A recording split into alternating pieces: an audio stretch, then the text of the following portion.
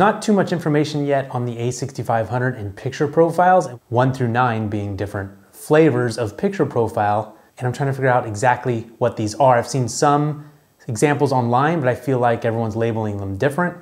So it wasn't obvious. So I'm making this so hopefully it is obvious because I found the answer, which was the manual that comes with the camera. Go figure, right? Well, it seems obvious, but it's not actually in this manual. But I scanned this little QR code. And if you don't have the manual, you can scan my QR code. And that'll actually bring up a more in-depth manual on your phone, or you can get the link to it to see it on your computer and it'll actually tell you what each of these is. So I'm showing you here these different profiles running through one through nine. These are as the camera comes from Sony.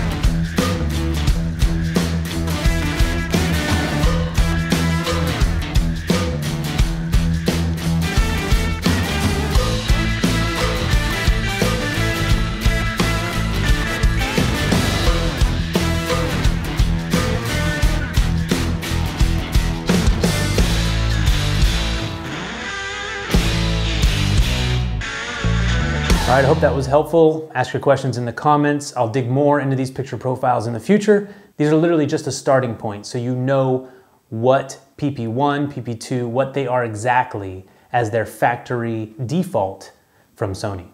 See you next time.